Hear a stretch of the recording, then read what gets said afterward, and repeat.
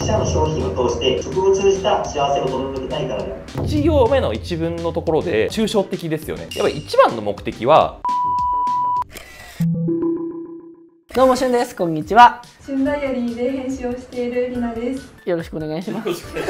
はいということで今回は ES 添削企画なんですけども今回も南さんに優しく ES の添削をしていただけたらなと思ってます。どうもこんにちはみなみです。みんな元気してる？はい今回 ES の添削をしてもらう学生さんはこちらの方です。九州大学大学院生物資源環境科学部修士1年の後藤太郎です普段は食品の食感とかについて研究しています。今日はよろしくお願いします。よろしくお願いします。今回はですね特に志望動機が改善の余地があるということで志望動機をちょっと中心に添削していただけたらなと思ってます。で今行きたい業界とか行きたい企業ってあるんですか？行きたい業界だと食品業界を今志望していますということで今回の志望動機は大手食品メーカーの福田食品を志望ということで書いていただいてます。どうも福田食品人事部採用責任者の南と申します。本日はよろしくお願いします。よろしくお願いします。お願いします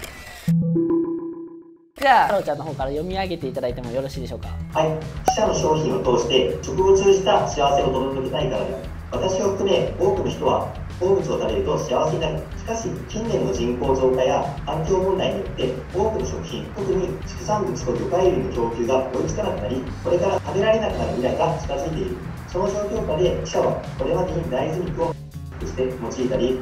培養していく人の開発に取り組んだりと持続可能な食の実現に力を入れていることに魅力を感じたそこで自社の研究開発部門において他社の意図を汲み取るという私の強みを発揮して今と変わらない美味しさの代替食品やそれを用いた商品の開発に挑戦することで多くの人々に喜びを届けたいという思いから自社を志望するありがとうございます、ということで今の志望動機南さん的に採用か不採用か札を上げてくださいじゃあ札を上げますドゥルルルルルルルン×ですちなみにこれ理由わかります全体通してその会社じゃなくていいっていうところ分かってるじゃんあでもあの唯一良かったのは具体名があったからまだ0点ではないなって具体例以外のところがその会社じゃなくていい理由がなかったなっておっしゃる通りです面接する立場からすると学知化も志望動機も本当にこれ思ってんのかなっていうのがやっぱりあるんですよ印象ぶっちゃけ1日30人も40見てると、なんで嘘じゃないんだよっていうことを安心させてあげるのが目的なんですね。なんで一番いいのはやっぱね社員の具体的な声なんですよね。で実際社員と会ってますかこれって。2名ほど話させていただきました。それぞれ何分間ずつぐらい喋りました？なって30分程度でした30分でも十分聞けると思います。実際の ES では名前も出した方がいいしその人が言ってた具体的なことも書いた方がいいしそれのこういうところに強く魅力を感じましたって話にした方が嘘くさくないんですよね。やっぱ今のままだとホームページに書いてあることをコピペしてだから死亡しているようになっちゃってるんで嘘じゃないんだよっていうのを安心させるためには社員が言ってた人の具体的なセリフを出すっていうのが一番分かりやすいです。ねだから社員の具体的な名前が入ってたらより良かった。まあ名前書きたくなければ書かなくてもいいんですけどせめて言ってたセリフは欲しいえちなみに OB 訪問今の時期とかでまだ一人もしてない人いたりとかしてたけどその受ける会社の OB 訪問はまだしてないっていう方も多いと思うんですけどそういう場合はどうすればいいですか？一番はそもそも志望する会社も分かんないっていう人がもう多いと思うので身近な尊敬している人から盗む。でその尊敬している人を見つけたらその人が尊敬している人を見つけるっていう数珠つなぎをしていく。でそれで志望業界とか志望する企業とかを見つけていくっていうのが一番よくて師匠の師匠を見つけていくって感じで作業すると僕はいいと思います。じゃあ2つあって行きたい業界とかが最初から決まってる場合はその業界の中で尊敬する人を見つけて、まあ、会うっていうことが大事で見つかってない人は尊敬する人から行きたい業界とか興味のある業界を探っていくっていうことがそうです。大事で大前提志望動機はやっぱ本当に行きたいことが伝わることが大事ってことですか？そもそもだって人と会わずにラブレター書くっておかしいじゃないですか付き合ってくださいっていうのに会ったことないけどって言うとおかしいじゃないですか。だからその嘘臭さをなくすためにちゃんと本気で人と会って自分の考えをぶつけてで議論をした上でそれで死亡もしてますっていうことを言わないと嘘に聞こえる。今の太郎ちゃんのエントリーシートがより良くなるために社員に会った方がいいっていう部分。プラスなんか他にもしあったら教えていただきたいですね。あとはそもそも、まあ、ES もプレゼン資料ですよと。いいプレゼン資料と悪いプレゼン資料の違いってすっきりしてるかどうかなんですね。よく言うじゃないですか。ワンスライドワンメッセージだとごちゃごちゃ書かれても何も覚えられないですね。だからちゃんと伝えたいものはこれですっていうふうな軸がはっきりした上でいらないものを全部削ぎ落としてる状態になってるかどうかっていうのがすごく大事なことでだから ES は読まれると思わずに見るる程度なんですよ。パッと見た時にどういう印象を持つかっていうのを30人50人100人に聞いた方がいいと思う。いっぱい書いてあってよくわかんないっていう声が多分多いと思うこのままだと。いらないものをそぎ落としてこれだけは伝えたいっていうものを届けるっていう意識をするといいと思います。じゃあこれは志望動機だけじゃなくて学知化とか自己 PR にも言えるっていうことですね。そうです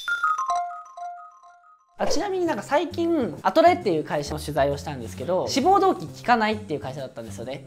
志望動機って面接官からしたら会社によると思うんですけどどれぐらい重要視して見てますか？人によるんですけれどもやっぱり一番の目的は辞められたら困るんですよ。まあ某なんちゃらナビとかに掲載するのって何百万とかかかるわけなんですよ。なんですよね。採用費もかけて人事部の人件費もかけてで採用しました。そこから研修費で人材開発部みたいなところのお金も労力も時間もかけて半年間ではいじゃあ辞めますじゃあっていうふうになった時にお金と時間と労力全てが無駄になっちゃうんですね。そういうミスマッチをこう防ぐために志望動機を聞いてるんですね。だから要はこの人本当に辞めずに努力してくれるかなっていうのを気にしてる。なるほど。感じですね。学知化とか自己 PR でも相手の企業のことが好きであることであったりとかっていうのをにじみ出させた方がもしかしたらいいかもしれない。もちろん好き好き好きだとうざいので程よく好きを伝えた上で相手が求めてるものは何なのかっていうのもちゃんと分析して知った上で自分の強みをそこに乗せてあげるっていう感じですね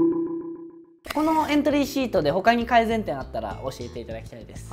最初のつかみって超大事なんですね。最初の1文2文で興味を持たせないともう続きの3文目をもう読む気失せるんですよ。なぜなら残りあと100枚あるから。なんで最初の12行でもうダメだと思ったらもうシャットダウンするんですよこっちは。もう電源落ちましたみたいな。っていうので最初の12行がめちゃくちゃ重要なんですよ。なんですけど今回1行目の一文のところでまあ抽象的ですよね。これ別にどこの食品メーカーも言ってることが来てしまっている。で2つの文章目のところも3つ目の文章のところもただの状況を説明してる感じなのでいやこっちからするともう知ってるよみたいな。知ってることをもう一回言われてもみたいな。そういうところじゃなくて例えば学知化と連携させて過去にこういうことをやったから将来自分はこういうことをしたいと思ってますっていう風な自分にしか語れない内容にしないともう読む気が失せるんですよここで。やっぱ大前提として嘘くせえなっていう風なのがこっちとしてはあるんですね。その本当かよっていうこの疑念を晴らすためには一番大事なのって過去の原体験ですね。この過去の原体験の部分がないから嘘くさいなっていう風に思ってしまうっていうのがありますね。なんか何か自分が例えばね過去にこうこういう強烈な原体験があってだから今こういうことを考えているってことが言えるとより嘘くさくないちゃんとした志望動機になると思います。確かにオリジナリティも出ますね。そうですそうですそうです太郎ちゃん最後感想をいただいてもいいですか？あの全体的にただ説明してるだけになったなというか、あのこの会社に対する熱烈な一方的な愛をプロジェクトだけだったなって思ったので、まあ、もうちょっと自分のことも双方のコミュニケーションを取れるような志望動機をつけるようになりたいなと思いました。素晴らしい。学びが早い。丸です。ということで本日は皆さんありがとうございました。じゃあなじゃあな。このチャンネルはキャリアの選択肢を増やし踏み出す一歩を応援するというコンセプトで運営しています。就活生が抱えている情報機会行動格差を動画を通じて解決していきます。今後も面白くてためになる動画を出していくのでよかったらチャンネル登録お願いします。また動画に出てくれる就活生や一緒に働く仲間も大募集しています。気軽にご応募ください。ありがとうございました。じゃあ今日動画撮影に参加した皆さん感想をお願いします。私はまだ就職活動を始めていないので今日聞いたことを頭に入れて頑張りたいと思います。はい。はい。ありがとうございました。これ使えます？いや初々しくていい